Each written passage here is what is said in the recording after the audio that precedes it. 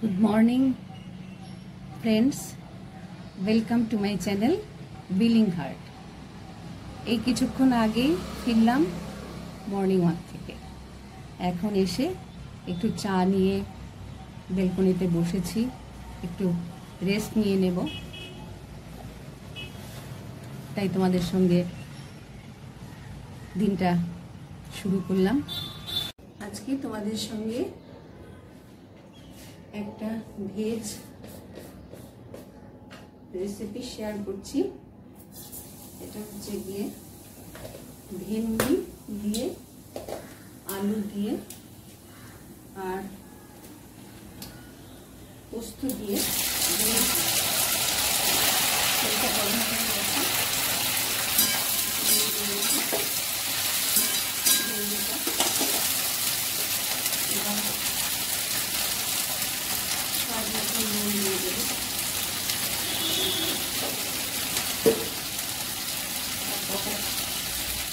চিরা কাঁচা লঙ্কা একটু দিয়ে দেবো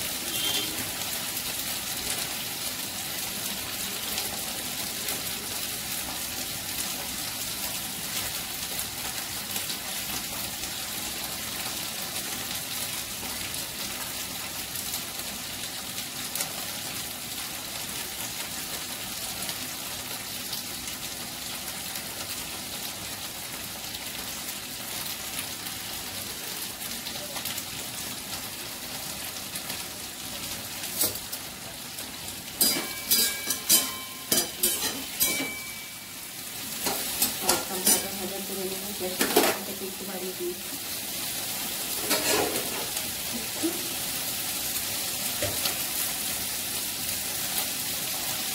ঢেকে দেবো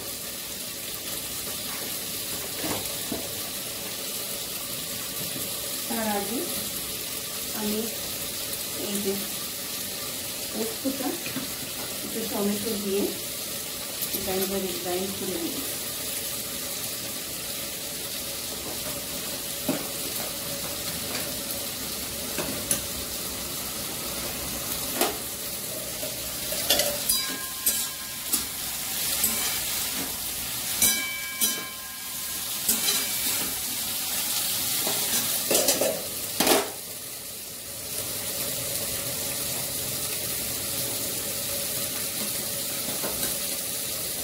কালকে সানডে ছিল বলে কিছু আমিষ রান্না আমার স্টকে ছিল। কালকে আমি করে রেখেছি। সেটা আজকে আমার স্টক দিয়ে আমিষটা চলে যাবে। তাই আমি আজকে দুটো ভেজ রান্না করে নিচ্ছি একটা ভেন্ডি এটা এখন ভেন্ডিটা তারপরে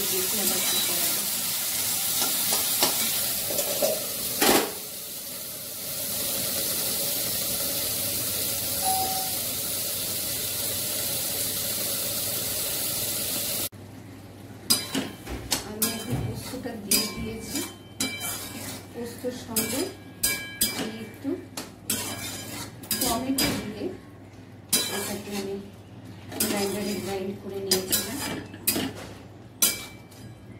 দেখতে পাচ্ছ নিশ্চয়ই। রান্নাটা।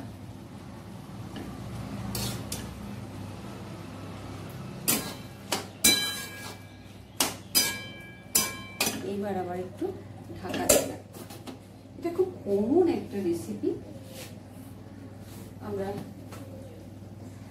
সবাই বাড়ি ঘরে এই ধরনের রেসিপি ট্রাই করি। এই সামারে তো এই ধরনের হালকা পাতলা জিনিস খেতেই সবার আমাদের ভালো লাগে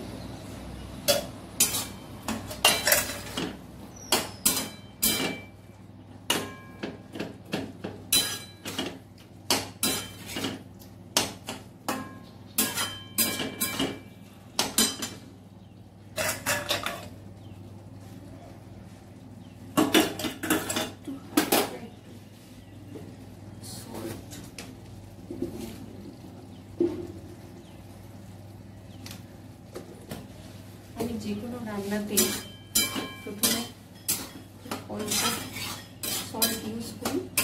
তারপর যখন দেখি না সবজিগুলো মিশে যাচ্ছে না, তখন বুঝতে পারি যে সল্টের রেশিওটা ঠিক হয় না তখন আবার কিছুটা সল্ট অ্যাড করি। এগুলো সব এক্সপিরিয়েন্স থেকে সবারই হয়ে যায়। প্রথম প্রথম যখন রান্না শুরু করেছিলাম বিয়ের পরে। তখন তো কিছুই জানতাম না। আমার মানে খুব বাড়ির কাছের লোকেরা বলতো, তুই যা রান্না করিস, সেগুলো তো ঠিক। মানে এতটা টেস্ট হয় না।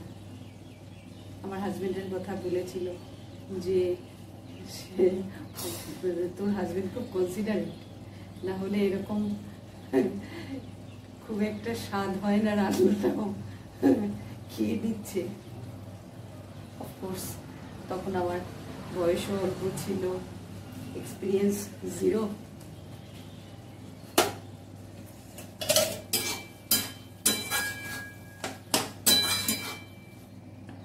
সঙ্গে এখনকার এক্সপিরিয়েন্স তো কম্পারিজনই আসে। ত্রিশ একত্রিশ বছর ধরে রান্না বান্না করে সব কিছু করেই সংসার চালাচ্ছি। তাই এখন ওই যে বললাম না, যে সল্টের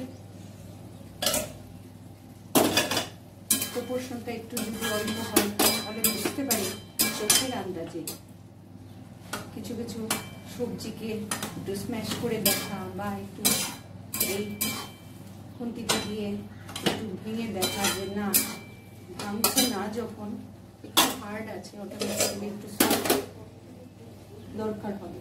রান্নাটা প্রায় আমার হয়ে আসছে। এখন আমি একটু হালকা সুগার অ্যাড করব।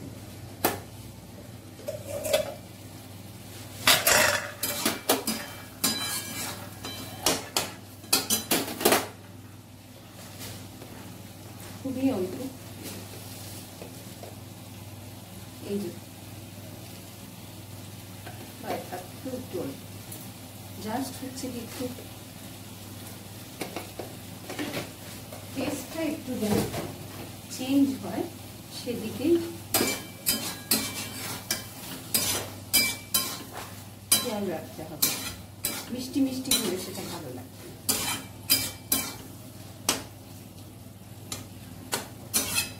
আলু দিয়েছি অটোমেটিক্যালি মিষ্টি কিছুটা লাগবেই এই হয়েছে গিয়ে ভেন্ডি দিয়ে পোস্ত ভেন্ডি পোস্ত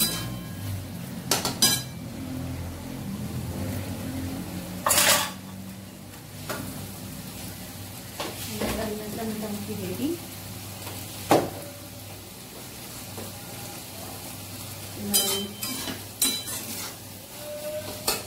ওভেনটা অফ করে দিচ্ছি এবার আমি এটাকে বাটিতে নিয়ে নিচ্ছি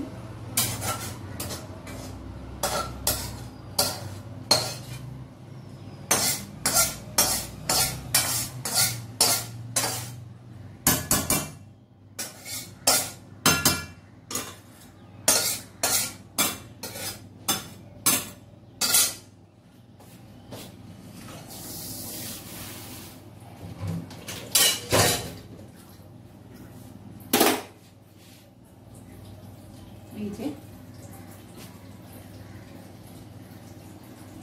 আমার ভেন্ডি পোস্ত রেডি হয়ে গেল। আবার এসে গেছি তোমাদের সঙ্গে কথা বলতে। কিছুক্ষণ আগে লাঞ্চ হয়ে গেছে, একটু বাইরে কাজ ছিল, সেটা সেরে এসে লাঞ্চ করতে একটু দেরি হলো। যাই হোক, আশা করি তোমাদের সবার ভালো লেগেছে ভিডিওটা। ভালো লেগে থাকলে তোমরা আমার চ্যানেলে গিয়ে চ্যানেলটা একটু সাবস্ক্রাইব করবে লাইক করবে শেয়ার করবে। আজ এখানেই রাখছি।